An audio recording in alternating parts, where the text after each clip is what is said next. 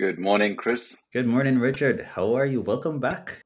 Thank you. Uh, slightly jet lagged. Um, very pumped about what's going on in the world. I uh, just spent a week in San Francisco, primarily for the Figma conference, which is called Config or Con- Config. I'm not sure how they how they pronounce it, but um, yeah, it was great. I uh, also got to meet with a lots of uh, people that I work directly with, and also some friends, and just kind of just get a general feel of what's happening in San Francisco. So yeah, we can talk about a lot of that today. Yeah, config looked amazing. I got a chance to see some of the sessions on on demand.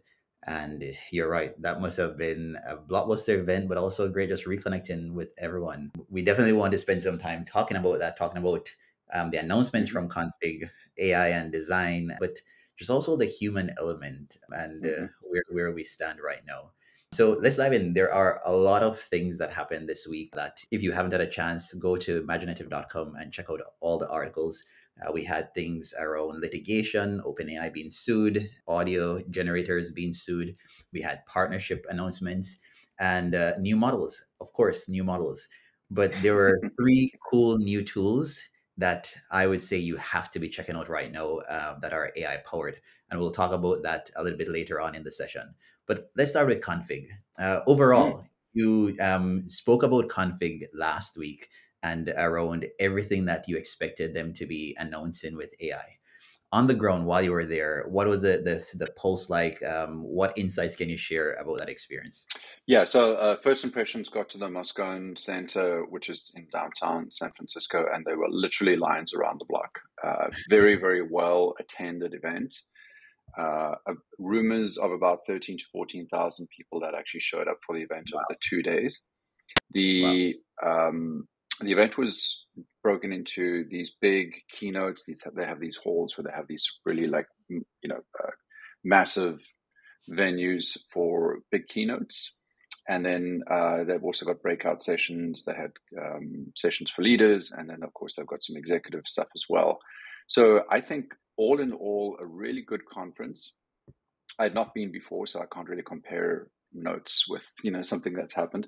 But um, overall, I heard very very good responses. I think a couple of people were disappointed that they had to stand in line, but I think that's maybe just the nature of the mm. venue, and I'm sure they can do something about that. Um, anyway, we uh, I was part of the Leadership Collective, which is uh, essentially kind of like a VIP group. These are mostly people in leadership positions who uh, get an opportunity to meet with each other. I found that incredibly valuable. Uh, if any Figma people are listening, let's do that again. Um, because the leadership conversation is obviously going to be slightly different to the practitioner conversation. Practitioners uh, would diving deep into the nuts and bolts of what is happening in Figma and AI and, and the associated generative AI world. And so I think there were lots of good conversations about, hey, you know, this thing allows me to update all my layers automatically. This thing allows me to do some auto layouts. I think those kinds of things, fascinating and interesting for the practitioner. Yeah. Uh, I did f- hear some people say, well, I'm not sure I'm going to just dive right into that. I think I'll currently use my Flexbox or whatever it is that I'm currently using and and that's really typical. I think my the first big takeaway for me at uh, this conference, but I think in general, is that whenever you are launching a new feature or a new product, the initial reaction is, "Gee, I'm not sure I'm going to use that," or "This is not the right time," or "We have to change our workflow." And there's there's a you know a reasonable amount of pushback, and I think that's mm-hmm. normal. What I think, because I'm a little gray haired, I've seen as well is that pushback is normally followed by uh, some experimentation and then an almost uh, automatic jump into using that that product or feature. Yeah, and I think this is a this is like a bigger story. Designers, engineers, product people, they tend to be quite fanatical about the tools that they use, and they're really excited about something. Um, you know, back in the day when I was just starting out in generative or in, in design and and starting to use some of these automated tools, people getting you know their hair all kind of curly and excited and you know screaming and like oh my god like what is this new tool? Why are we doing this? And then you know months later they're they're completely adopted. So the fanaticism works both ways. It, it, feels a little bit like if you're introducing a new product you may never actually get in there because there's so many rabid fans but the truth is, designers and engineers and product people do like to experiment and they do like to play with things. So, you know, if you're a startup, if you're trying something new, don't be afraid. You know, get in there. I know Figma is a beast. Adobe is a big beast. These are the 800 pound gorillas in the market, but you know, lots of good opportunity for new features and things to be introduced. So, um, you know, that's the big first big takeaway is just like don't be afraid, even though these yeah. big events are happening. There's lots of room for innovation, and there's also um, you know, there's an, an, adoption curve. It's going to take a while for the folks that use these tools to actually start using them. Um, yeah. You know, when they're they're just released, and we're not sure exactly what the outputs are going to look like. So, you know, are these kind of automatic layouts, these automatic lay, um, uh, layer tool updates, are these things actually going to produce what we want? We saw with last year Figma released Dev Mode. The first results were not great. Um, mm-hmm. But I think they've tweaked it and they've um, put a good team on it.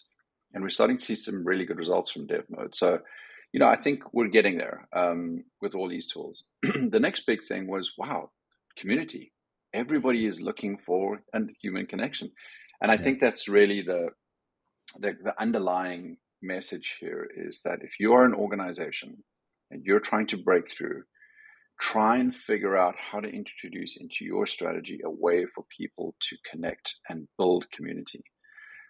Chris, you and I both know the UX community has been around for a couple of decades now, and it was very, very strong. It had a lot of events, had a lot of reason to connect. Back when Smashing was having their events, and yep. you know, there were some some fantastic events, and then of course that started to get replaced by what was generally preferred a PLG type strategy, which is like self service. We don't want to talk to you. You just go and download the product. Don't you know? Don't interrupt yeah, your day yeah. uh, with interactions. And then of course COVID, which was really the cherry on the top of that cocooning phase. Mm-hmm. But I think we're back. I think we've gone full cycle again, which is no surprise. We're now back in a phase where people are absolutely desperate to interact with each other. They want to make friends. They want to make connections. They want to see other people doing the things that they're trying to do. And they want to build a community around that. So I spoke to Peter Merholz, uh, who is one of the big design people there. And both he and I agreed that, wow, this is an, this is an opportunity for the community at large, the design community, the engineering community, and the product community to say, wow, we really don't have a lot of strong centers of gravity where we can organize ourselves around. So I think that's a strong message there if you're an organization trying to connect with uh, your practitioners or the leaders or the decision makers, throw an event. Uh, it mm-hmm. could just be some local community event, it could be a meetup. Uh, if it's for leaders, put a summit together, put a workshop together. People will show up. Uh, we know uh, from the work that I've done at Knapsack and previously at InVision that events were always the most highly valued part of the interaction between us and, and the, uh, the, customer base. And I, I, just don't see that going away now. I think we obviously had a hiccup during COVID, but it's coming back strong. And then I think lastly, um, I'm just really excited to see how willing people are to participate in this change that's happening with AI. Um, there is a definitely a healthy amount of skepticism I think it's not skepticism in the sense of like, oh, this is crap, we're never going to touch it. It's more like, hmm, I need to just make sure that this is going to come in at the right level or that we're going to test it appropriately. But every single leader that I spoke to was excited to see these AI features being added to Figma, was excited to hear AI features being added to some of the adjacent products that are working with Figma. And um, just in general kind of curiosity, which um, I, I think is a healthy way for for the industry to be. We don't need to be just rushing into it, but we do need to be considering how we're going to start using these tools. Um, I didn't hear anybody saying, "Hey, we're doing massive layoff because now we can automate everything." I didn't hear any of that. I didn't hear anybody uh, worried about uh, headcount. Mostly, mm-hmm. what people are concerned with is workflow. You know, are we doing the right thing for our organization?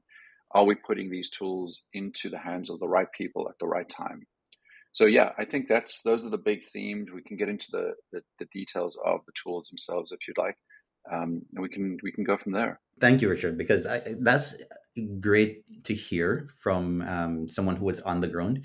Because I was a bit critical this week of the design community. I shared on social media that it felt like designers had taken a step back um, with mm-hmm. the development of AI. I compared it to maybe five, six years ago when you had a, such a vocal design community and uh, they were exploring exper- user experiences, they were testing new user interfaces.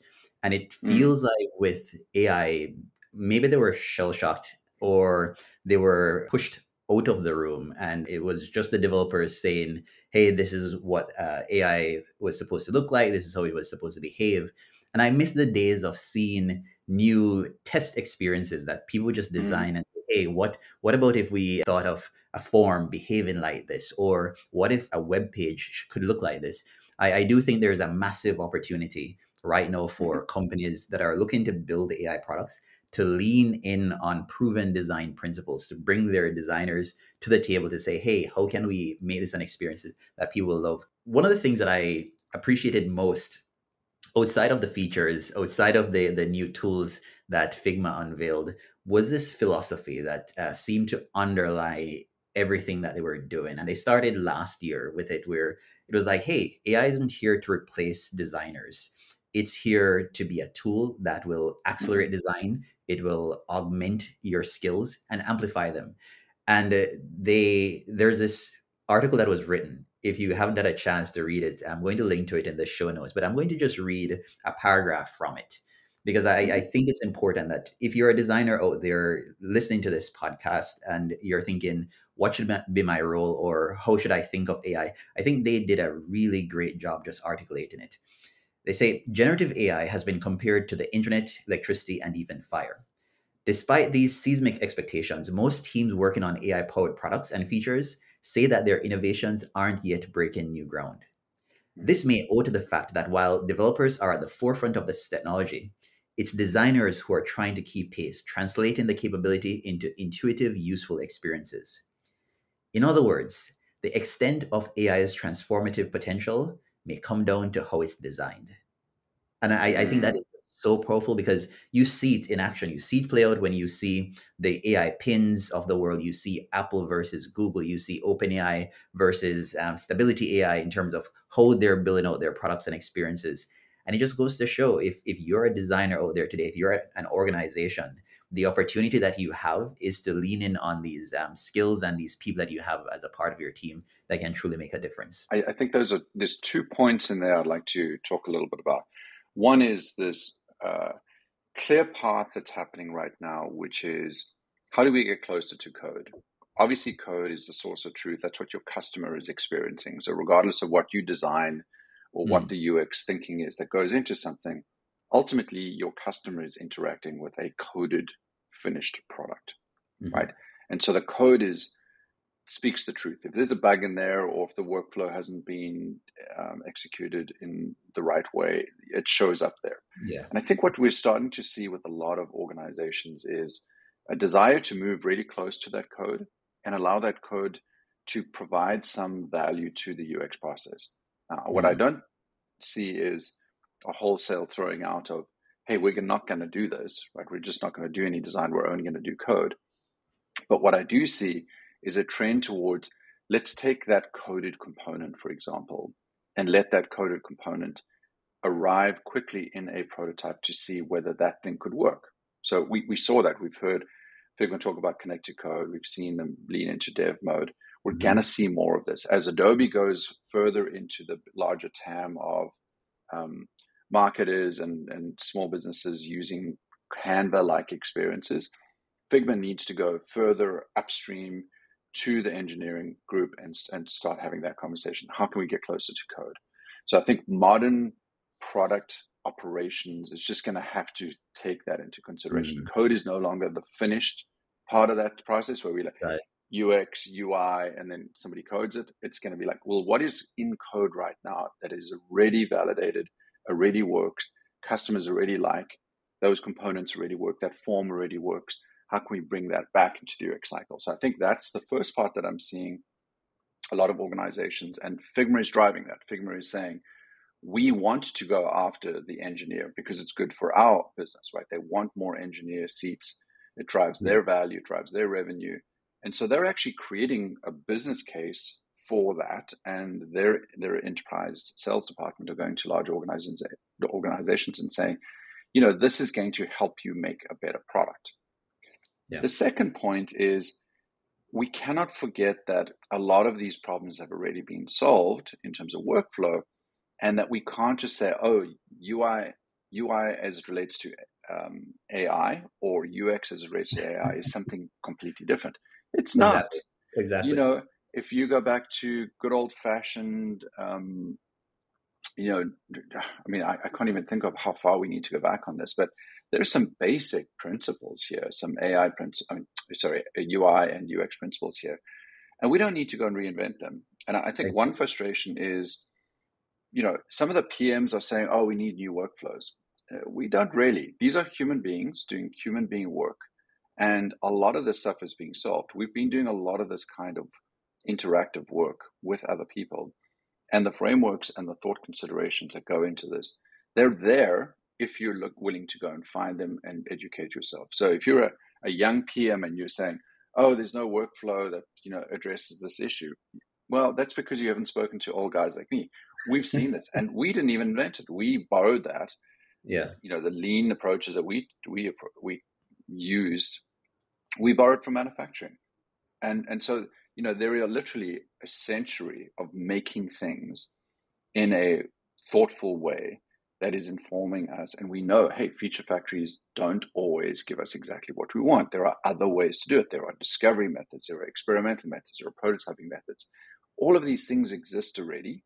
We just have to go back and look at how those things can be organized around the new technologies, not the other way around. It's not the technology leading the conversation, it's how human beings work ultimately, I will never be out of a job because my job is to assemble and organize human beings in a way that allow them to produce something. And that's the real problem. That's never going to go away.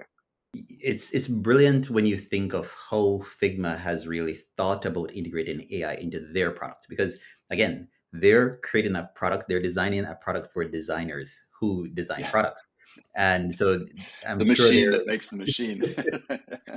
but but you think of what happened uh, with tools like Figma. You got suckered into creating your layers, naming your layers, uh, creating mm-hmm. your design system, and and that became a job in and of itself, right? Mm-hmm. And so Figma thought, well, how can we accelerate a lot of this? How can we ensure that as designers, you're not spending time doing a lot of this routine work that it wasn't what you signed up for in the first place. So some of the features that I absolutely love, um, semantic search. You can now just search in natural language and search across mm-hmm. all your assets, either personally within your organization or within the community.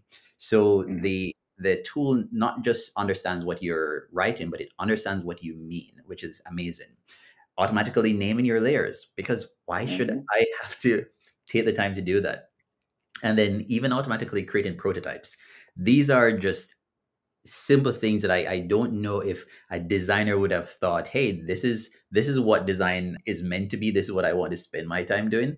And they can then focus on solving the problems, asking the questions, thinking through the interactions, and then proposing the solutions that they have in mind. Yeah, I mean, my, my first book was Design Sprints, which is really just a you know ridiculous name for how to make prototypes um, and how to test them. That's a great book, and, by the way. It's one of my favorite books about design. Yeah, and, and you know, we wrote that book almost 10 years ago. And, and, and so, you know, back to basics. Um, this is, you know, one of the points I was trying to make earlier is that making prototypes has always been good work. It's that's mm-hmm. a good way to work, a good workflow. Good, it's good for business. If you're a entrepreneur and you're trying to figure out what to do, the greatest place to start is with a prototype. You can get that in front of people. You can find proxies for real customers and experience that. And I think that's where Figma is going to have this opportunity to not only be a tool for designers, it's just a tool for business. One of the yeah. features that they launched was was uh, Figma slides. Uh, this kind of blew me away. I, you know, as I've become less connected to the layers of the, the kind of the design process and more towards like the presentation of what that looks like, the idea that I can take the designs, build a uh, a, a deck that explains that to executives, because most of my work now is how do I explain this thing to these people so that mm-hmm. we can make more money, right? So what is that kind of connection? And and having slides built in there and I saw the product in use. There was a presentation by one of the co-founders of Figma, along with uh, the CEO of Coda, um, at one of the executive briefings. It was really good. They talked about uh, a, a, topic which I think we all would, you know, be better at, and that's how to run a better meeting. And um, and they used the new slides feature to do that, and it was really impressive. I didn't even realize that they were using this new feature until right at the end when they, they said, "Hey, by the way, we use slides."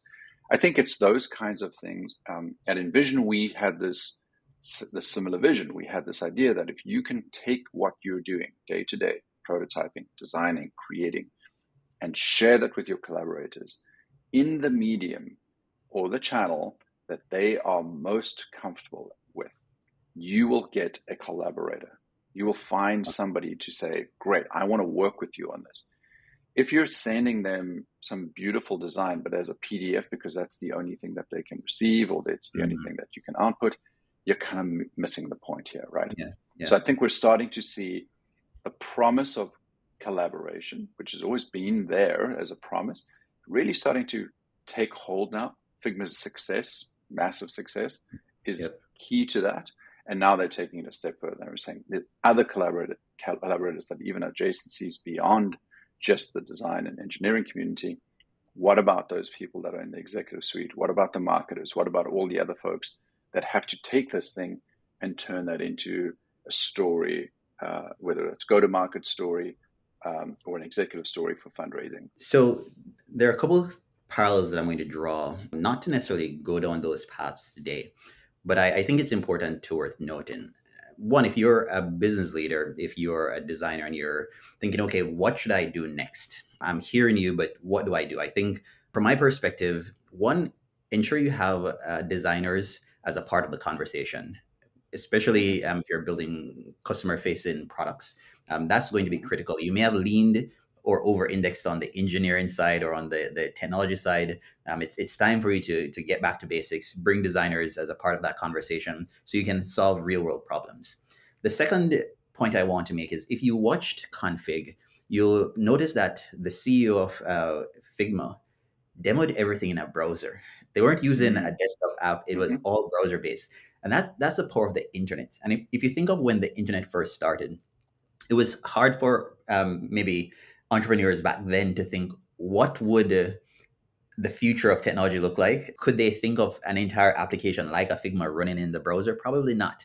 And I, I want to just emphasize that because right now we're at that early phase of uh, AI and it's important mm-hmm. that we, think of like that long um, term approach the, the, the technology right. may not be there today but we, we really want to start thinking okay where could this really go when intelligence is built into all our tools or into all of our experiences what could that look like and anchor yourself in, into that reality and then the mm-hmm. last thing i'll point out is another story and this i think is a great example of why technology doesn't equal business. Technology doesn't equal product. One of the announcements that we had this week was that Amazon was going to hire the founders of Adept AI and license their tech. And this is a company that within a year had been valued at a billion dollars. They were one of the best foundation models at the time. And people were excited. Wow, a new startup creating an amazing language model.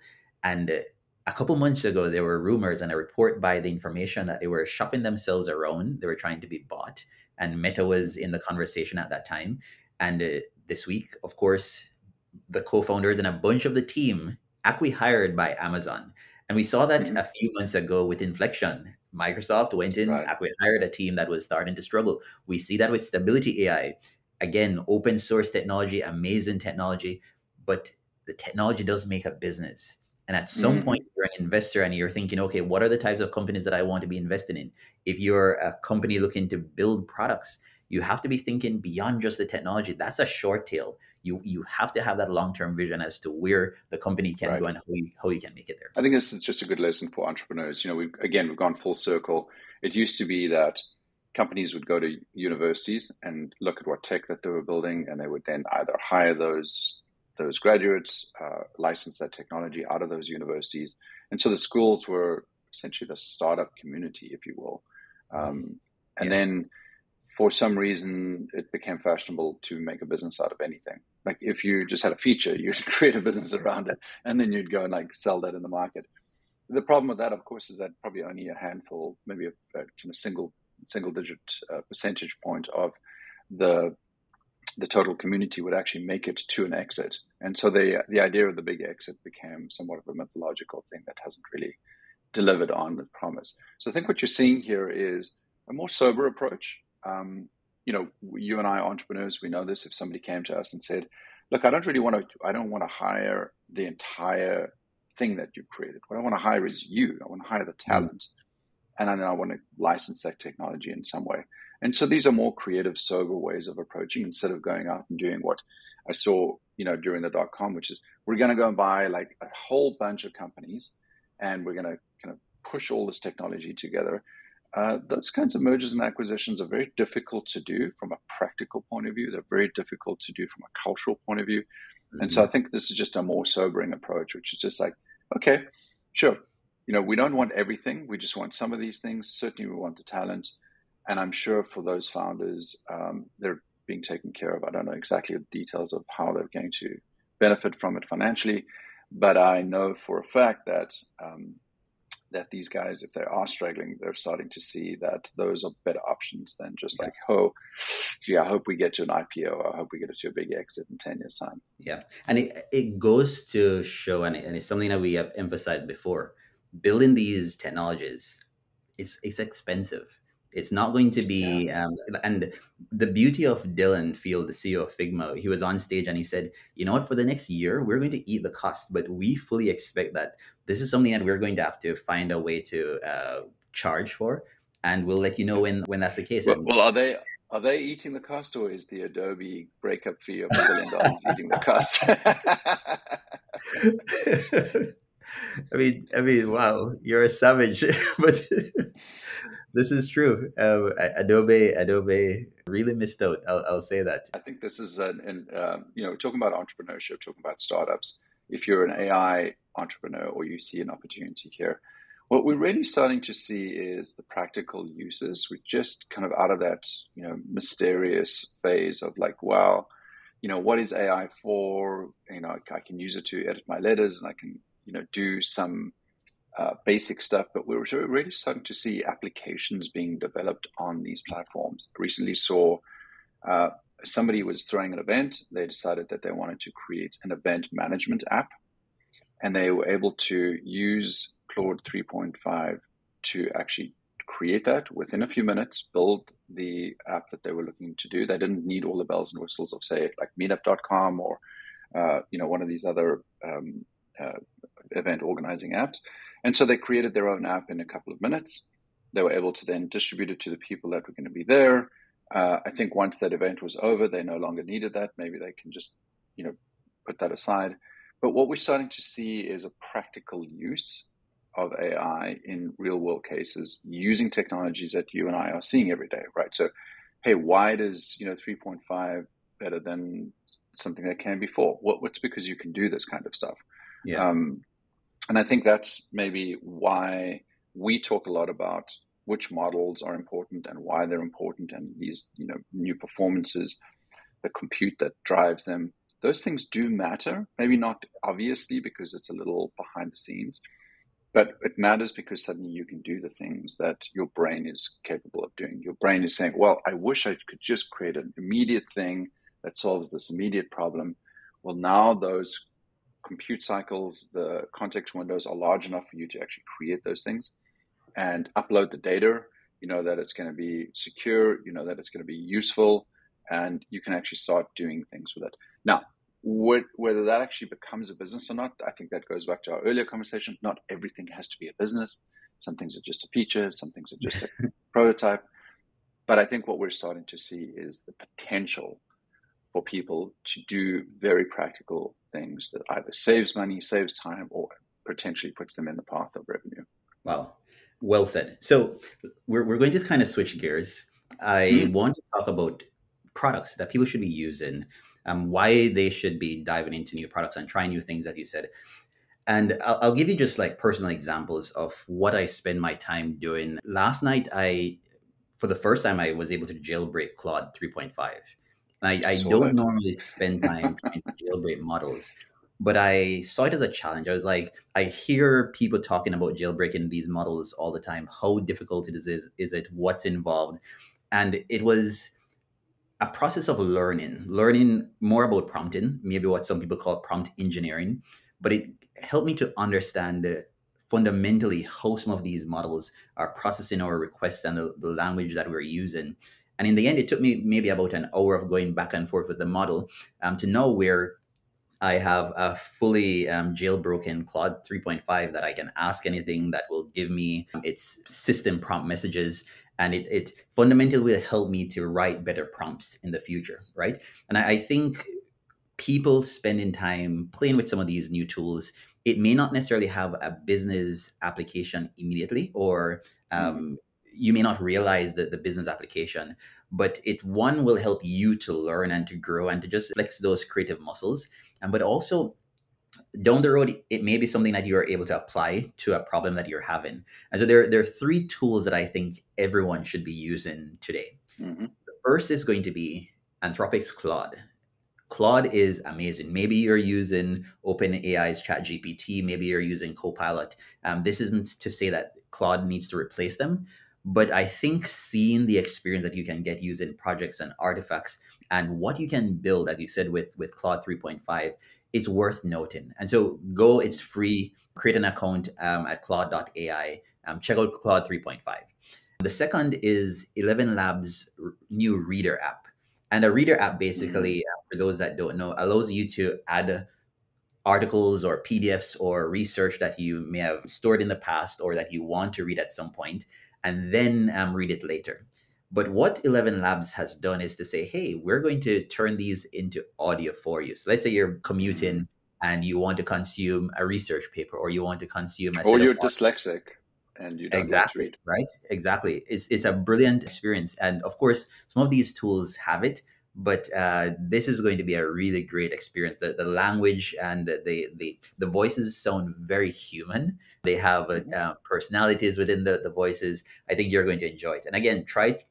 Maybe you like it maybe you won't like it but it's, it's worth learning about these tools. And the last tool is chatgpt desktop. If you are using ChatGPT on the web, the desktop app will make you that much more productive. Uh, you can give it access to seeing what you're seeing on your screen. So let's say you're working on a, on a table and you want to just ask a quick question to ChatGPT about that table. You no longer have to get that file, upload it into uh, the, the ChatGPT app, and then ask questions. You can literally, with a keystroke, uh, just have the AI see what you're looking at and then ask questions. It's it's brilliant, and it, and it's I think these are going to be ways in which we start thinking, oh, what could this experience feel like and look like when we have AI running across our entire operating system that can work mm-hmm. alongside me and my coworkers versus mm-hmm. me just working with this chatbot in this transactional way. So three tools. Have you used any of them, Richard? What are, what are you thinking about them? Yeah. So the, the second tool, um, you know, this idea of, of being able to turn things into audio makes a lot of sense for me. I again, uh, a lot of the work that I'm involved in is taking somewhat complex ideas, whether it's the way a software performs or how a platform is valuable to an organization, and taking the ideas that product and engineering are delivering and translating that into something that is a much more easy to understand story.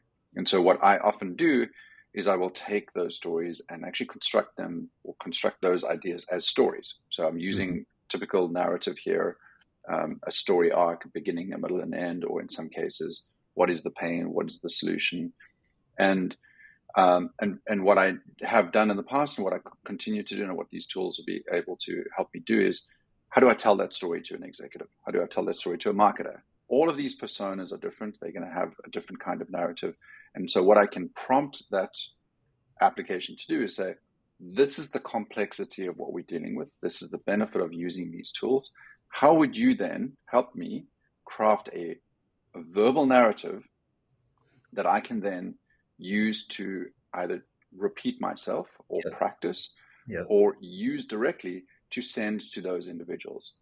Because each of those narratives are going to be different. And uh, to your point about GPT, the desktop, uh, if I've got a big piece of data, which uh, in one case I've got like this huge um, spreadsheet of persona data that I've, that I've kind of gleaned from other people within the organization. I can take that persona data. I can say, hey, ChatGPT, I got a lot of different information, a lot of different constituents that are trying to understand the story. Here is the story. Here are the people. Come up with a bunch of narratives, and then let's also then export those into different channels so that we got a, a way to do that. Ordinarily, that'd take me you know weeks or months to do, yeah. Um, and lots of different cycles. Now I can get that done in a short period of time, probably just an hour or so. Get that out to the audiences, see how it lands, make sure that what I'm what I'm trying to say is actually landing in the way that it, that that that was intended. Get the feedback that's necessary, make the tweaks, and then go to the next round. So I think just the speed of work here. Again, I, I don't know if I'm a productivity freak. I don't think I'm one of those people who needs to hack every part of my life.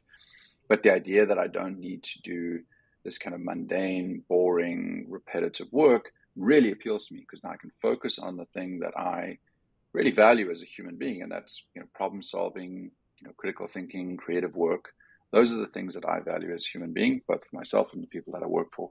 And so these tools are helping us do exactly that. I love that. In fact, I think what we should do maybe is to create some videos for listeners and um, you can let us know if um, this is the sort of content that you'd be interested in but i love those use cases that you describe and i have some use cases also. Maybe we should create some videos just kind of tutorials about how we're using mm-hmm. things like claude 3.5 um, projects and um, the chat gpt yep. desktop app that, that people find valuable. All right. Yeah i think I, last, would love that. last set of things that i think we'd want to discuss before we wrap up today lawsuits, AI ethics, partnerships, right? Uh, we saw a bunch of partnerships this week. Um, Time Magazine partnering with Eleven Labs to bring audio um, to their articles. Time Magazine partnering with OpenAI to um, supply them with their data. Uh, we saw YouTube partnering with the record labels uh, to try and license music to train their AI models. We saw the record labels suing uh, Suno and Udio for copyright mm-hmm. infringement we saw created by humans coming up with this novel approach to how creators can be paid for content that's used to train AI models. And then we saw the Center for Investigative Reporting, the, the parent company of Mother Jones and Reveal, suing OpenAI for copyright infringement. And so you're, you're mm-hmm. all of the like this dance that's happening right now, right? With these bigger companies saying, hey, we want a piece of the pie to these yeah. uh, people that are developing the technology and also legitimate concerns about what's going to happen to the future of their business if they just allow mm-hmm. this to, to go undisturbed. And then, of course, you're, you're seeing these partnerships happen. What are your thoughts on them? Did any of these stand out to you? Yeah, well, I, not to bring everything back to config, but I was actually in a conversation with people at Warner Music and CNN. A lot of these content providers are having exactly these conversations. There is the preemptive approach, which is for the AI companies or the content providers to actually pr- go directly to the other party and say, look, before we get into a lawsuit, let's come up with a deal. Yeah. I think that's what we're seeing with, say, OpenAI and and Time. And we've seen that with Reddit, we've seen that with a bunch of others, right? They're all yeah. trying to do the deal that's necessary. The problem, of course, is that these models have already been trained. They're already doing things that you know, haven't been included in those deals. So unless those deals are retroactive, there is going to be some lawsuits. Now, do I think that all these lawsuits are going to go to court? Probably not. I think they're probably going to be settled in the form that we're seeing, which is, okay, great, we screwed up. We we trained our model on your content. We're going to pay you. For most of these AI companies, that's a rounding error, $50 million a year for you know, content is not a lot of money for them. It's pretty much the interest that they're getting on on their their funds. Um, and for and for the the, the the, the you know the producers of these creative uh, products of content, that's a lot of money for them because a lot of them are struggling. Their margins are pretty low. They haven't actually um, solved the problem with the paywalls that they've got. Now we are hearing from the people within the product design, product uh, creative world, the engineers inside these these uh, companies that they are looking for better solutions. They are looking to AI to produce solutions for themselves. So that's the kind of the 3rd mm-hmm. person in the dance. If AI companies like OpenAI and Microsoft and, and Google are one party in the dance, and the other party is the publisher, the content creator. The third party is how do we actually use this content to create a better solution? Is there a better way for us to manage distributions? Is there a w- better way for us to manage, uh, you know, the revenue cycles? Because a lot of the artists are getting screwed. Yep. You know, I think, I think the artist here is not being represented directly. They're being represented through a lot of other companies. So I, I honestly don't know the space well enough to tell you that you know I have a strong opinion on any of these things. But I think the word that you use, it's a dance. It's going to happen for a while. We're going to see these stories coming up over and over again. I don't think it's going to play out. It's all, at least it's not going to finish playing out for a while.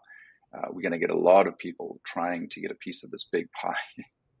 yeah, I, I think so too. Um, two things stood out for me that I'll, I'll just highlight.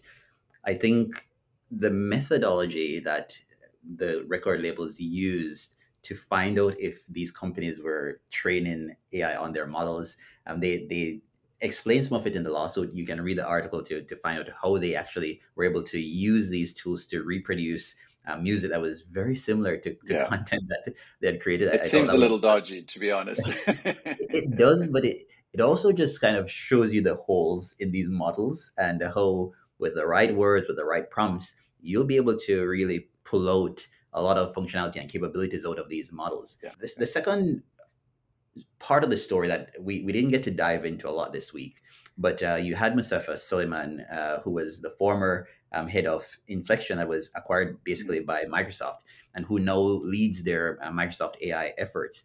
He was in an interview and he basically said, there's a social contract that has existed on the internet since the dawn of time that hey if you you have content on the internet and you didn't explicitly say do not scrape this content do not access this content with our bots that it's fair game for anyone mm-hmm. to use and mm-hmm. I think that's turning a lot of heads. A lot of people are, are mm-hmm. looking at there, starting to ask, well, is is this true? One, um, should it be true? But also, what does that mean for creators and for anybody that has put content out on, on the internet? So, um, if if you mm-hmm. haven't seen that video, we'll we'll link to it in the show notes also.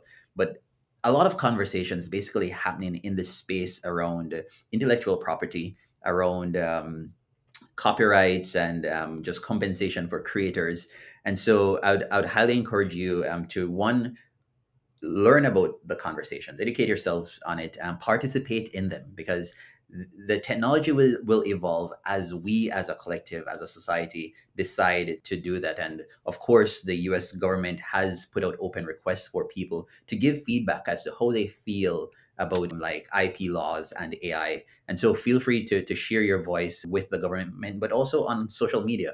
Um, talk about how you see it if you're a creator, an artist, if you are a content provider. Um, or distributor. Um, I'd love to hear some perspectives on this. With that, Richard, I think we should wrap up this week. I, I know yeah, you're a bit deadline, but um, there are so many stories, everyone, that uh, you can check out on maginative.com and we'd love to get feedback from you as usual. So send us messages, keep them coming. But as always, just hit that like button on YouTube. Um, it really does a lot in terms of the visibility of our content. Um, and let us know if there's um, content that you're interested in. As always, we love you. Um, thanks for all the support. Um, until next time, one love.